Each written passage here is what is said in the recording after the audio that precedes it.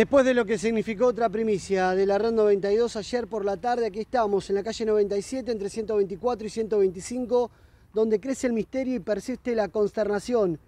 Dos hermanos de más de 50 años aparecieron sin vida en este domicilio, la Casa del Horror.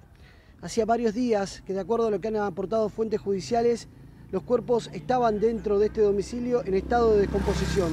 Hablamos de manera exclusiva con Eduardo, un vecino, un chapista, un amigo de la familia, al fin de cuentas, que le suministraba comida. El hermano menor asistía al hermano mayor que tenía, de acuerdo a lo que han aportado los testigos, algunos eh, problemas de salud. Vivía en una pieza del fondo. Aparecieron sin vida, nadie quería entrar. La policía tuvo que pedir eh, justamente una autorización. Testimonio exclusivo de alguien que ayudó a las personas que ahora han dejado de existir. Trabajó de panadero y apareció sin vida después de muchos días aquí en la calle 97. Hablamos con los vecinos y nos contaron lo siguiente. ¿Cómo se enteraron ustedes o cómo fue? Eh, nosotros, porque yo con mi señora le dábamos siempre la comida, ¿viste? ¿Eran dos hermanos? Dos hermanos.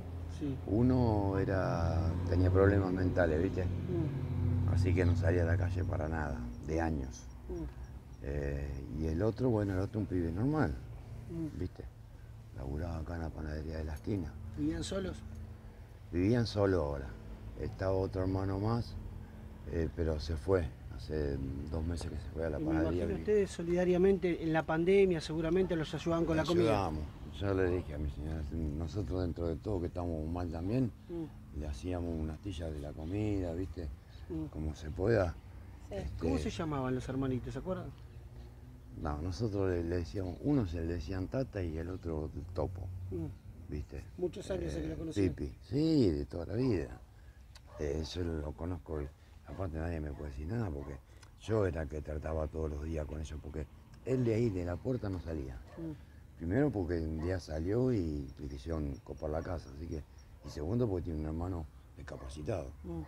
¿entendés? ¿Y Entonces, cuánto- la última vez que habías tenido contacto con él, cuándo fue? yo dejé de estar porque yo me estoy por operar del corazón. Entonces lo dejo de, de ver a él hace un mes, Un mes. más o menos, ¿viste? Pero, eh, claro, hace 15 días yo fui de vuelta y digo, bueno, le voy a pasar algo loco que me decía mi señor que debe faltar. Fui allá y llamé, no salió nadie, y bueno, está durmiendo. Fui a la semana de vuelta, nada. Y ya empecé a sentir olor, ¿viste? Pero como este tiene perro, de todo, digo, capaz que, ¿viste? Son olores de, de- de los perros, algo. Sí, sí, sí. No, pero ayer pasó un amigo mío, también me dijo lo mismo, ¿viste? Que había olor. ¿Por qué no te fijabas, olor? Sí, le digo, ¿vos sabés que voy a mirar? Llamé a la policía, entramos... ¿Primero te metiste o llamaste a la policía porque No, sospechabas eh, algo? Primero llamé dos veces, ¿no? Llamamos Fui. a la policía. Eh, Dos veces fui y llamé. Sí. No, no, había, no, no De- el timbre. Nada. Entonces, Ahí te preocupaste.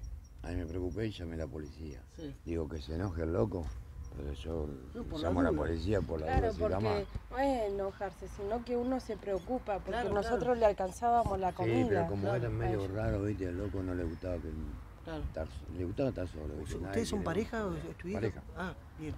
Mi mujer. Sí. Y ¿qué Los te iba a ayudaban como siempre, pero te llamó la atención. Me llamó la atención. Y el olor también, entonces ya llamé a la policía. ¿Y la policía se vino, metió? Se metió hasta la mitad, salió de vuelta y me dijo, Flaco, no, tenés que ir a Ponzate, hacer una nota. ¿Qué, te- qué nota? Yo quiero que se meta, yo te doy el point y le digo para entrar, yo pongo la firma. Que yo te dije, loco, que entré. ¿Entendés? Yo no puedo entrar porque soy de alto riesgo. ¿Entendés? Por ahí hay un virus o algo, me lo agarro. Claro. Estoy por operar ahora. Entonces, agarró, vino la policía, se fueron. Los llamamos de vuelta y ya me quejé. Que vino O la sea, policía y no- entraron, no quisieron, o sea, no, No te dijeron nada y se fueron. Pero no entraron a la casa, entraron hasta la mitad. Sí. Se fueron a la miércoles.